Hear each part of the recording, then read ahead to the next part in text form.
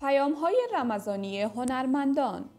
بر خانه دل نور زیا آمده است.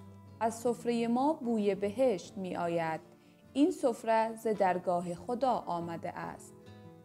تاخیر با ما همراه باشید و برای حمایت از ما علامت سابسکرایب را فشار دهید.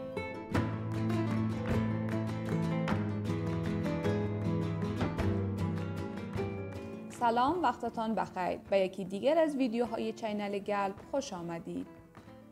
با آمدن ماه مبارک رمضان تمام هنرمندان و چهره های شناخته شده عکس ها و تصاویری در وصف رمضان به اشتراک گذاشتند و آنها با آمدن ماه بخشش و مغفرت تمامشان تصاویر با هجاب از خود به نشر رساندند و از آمدن این ماه به گونه های مختلف استقبال کردند. آنها در صفحات مختلفی نوشته اند که بیایید به هموطنان غریب و نادار خود کمک کنیم. ماه مبارک رمضان ماه همدلی، فضل و بخشش است. خانم سیتا قاسمی در صفحه اینستاگرام خود چنین نوشته است. فرارسیدن ماه عشق و دوستی، ماه نیایش و هستی، ماه سحرهای بیتکرار و ماه دلانگیز سرمستی و تمام اسلام آوران دین راستی مبارک باد.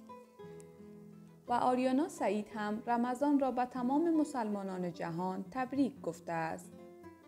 حفیظ محمدی گرداننده تلویزیون طلو هم چنین نوشته است. بیایید مستمندان را در این ماه پربرکت فراموش نکنیم. هر قدر که توان داریم کمک کنیم حتی یک دانه خرما.